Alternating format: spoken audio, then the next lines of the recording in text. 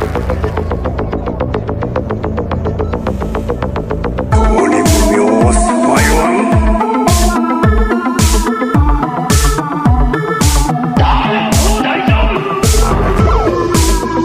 Hello friends welcome to your bro का channel blogger Satyam Gupta तो friends अगर आप भी 125 सीसी सेगमेंट में अगर आप बाइक लेने का सोच रहे हैं, जिसमें कि आपको अच्छे लुक्स मिल जाए और कंपनी अच्छे फीचर्स भी ऑफ़र कर दे और इसका जो प्राइसिंग है वो भी अच्छा रहे तो इस वीडियो में आपके लिए काफ़ी अच्छा गुड न्यूज़ रहने वाला है। तो आज की इस वीडियो में हम डिटेल में बात करने वाले हैं यामा एम टी के बारे में। आप लोगों का काफ़ी ज़्यादा कमेंट्स आ रहा था इस बाइक को लेकर मेरे अपाची वन वाले वीडियो में तो अगर आपने उसे नहीं देखा है तो आप उसे भी जाकर चेक कर सकते हैं। मैंने उसमें भी डिटेल्स में बात किया हुआ है अपाची वन के बारे में। तो आज के इस वीडियो में हम आपको डिटेल्स में बताने वाले हैं कि क्या कुछ इस बाइक का प्राइसिंग रहने वाला और कब तक ये आपको इंडियन मार्केट्स में देखने को मिलने वाली है। तो फ्रेंड्स अगर अभी तक आपने चैनल को सब्सक्राइब नहीं किया तो कर लें और बेलाइकन को भी प्रेस कर दें ताकि कोई भी ऐसी इंटरेस्टिंग वीडियोज़ और बाइक अपडेट्स मिस ना हो जाए। जैसे कि फ्रेंड्स आप देख रहे हैं हमारे चैनल जो है वो हंड्रेड के, काफ़ी नज़दीक है तो आप अपना सपोर्ट बनाए और हमारे चैनल को सब्सक्राइब करें ताकि जो हंड्रेड के का टारगेट है वो हम जल्दी से अचीव कर पाए। तो चलिए फ्रेंड्स इस बाइक के बारे में बात करते हैं। तो फ्रेंड्स जैसा कि आप जानते हैं ये बाइक का जो लॉन्च होने का चांसेस था नवंबर दिसंबर तक था इस ईयर में। बट बात करते हैं तो फ्रेंड्स कोरोना वायरस के कारण जो बाइक लॉन्चेस थे, वो काफ़ी ज़्यादा डिले होगा और इस बाइक का भी जो लॉन्च है, वो काफ़ी ज़्यादा डिले हो गया। अभी इंटरनेशनल मार्केट में अगर आप बात करते हैं तो ये बाइक काफ़ी अच्छा सेल हो रही है और काफ़ी अच्छा डिमांड है। अगर आप अभी इंडिया में भी देखते हैं तो 125 सीसी सेगमेंट जो है, वो काफ़ी ग्रोइंग सेगमेंट है।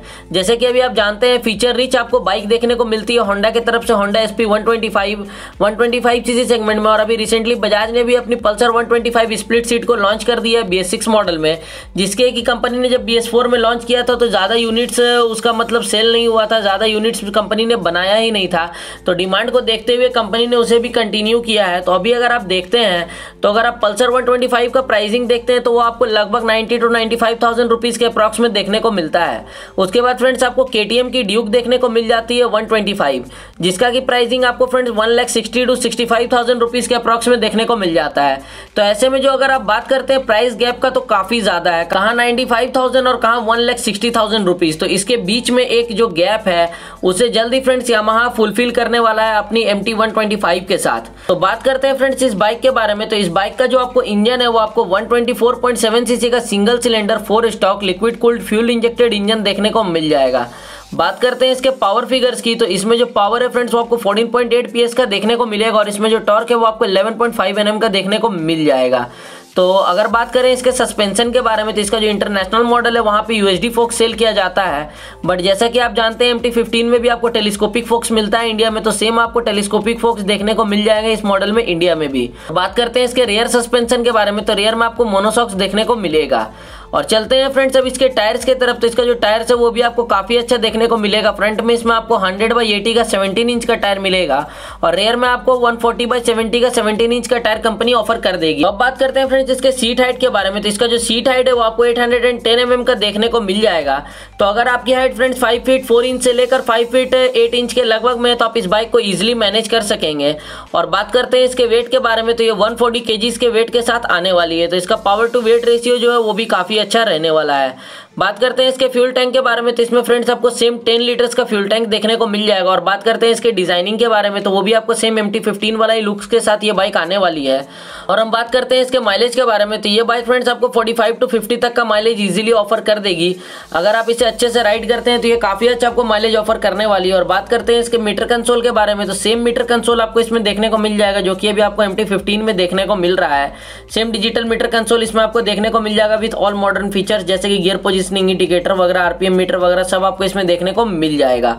और अब हम चलते हैं इसके लाइट्स के तरफ़ तो इसमें आपको फुली एलईडी लाइट्स का सेटअप देखने को मिल जाएगा फ्रंट में और रेयर में भी इसमें आपको टेल लाइट जो है वो आपको एलईडी में देखने को मिलेगा। इसमें सेम आपको फ्रंट में डेबिल आई लाइट्स देखने को मिल जाएगा, जो कि प्रोजेक्टर लाइट्स रहने वाला है। और काफ़ी अच्छा इसमें कंपनी आपको डीआरएल्स ऑफ़र करेगी, जो कि सेम आपको एम में देखने को मिल जाता है। बात करते हैं फ्रेंड्स, इसके कलर ऑप्शंस के बारे में। तो आपको तीन कलर ऑप्शंस में देखने को मिल जाएगा इंडिया में। जैसे कि अभी आपको एम टी भी तीन कलर ऑप्शंस में देखने को मिलता है।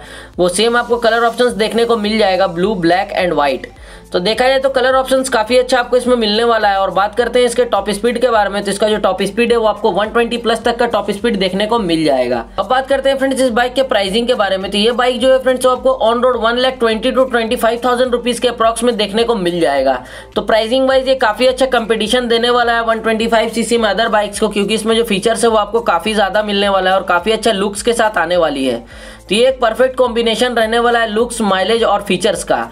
तो फ्रेंड्स आप भी कमेंट सेक्शन में बताएँ कि आप इस बाइक का वेट कर रहे हैं या नहीं। तो, तो अब बात करते हैं कि ये बाइक आपको कब तक देखने को मिल जाएगी। तो फ्रेंड्स ये बाइक जो है अब आपको 2021 के स्टार्टिंग में ही देखने को मिल जाएगी। क्योंकि फ्रेंड्स यामा भी जल्दी अपनी 125 सीसी सेगमेंट की कुछ बाइक्स को लॉन्च करने वाली है इंडियन मार्केट में। तो हो सकता है वो एम टी को ही लॉन्च करे, क्योंकि ये जो बाइक है अभी इंटरनेशनली भी सेल हो रही है तो काफ़ी मतलब यामा के लिए आसान होगा इस बाइक को इंडिया में सेल करना।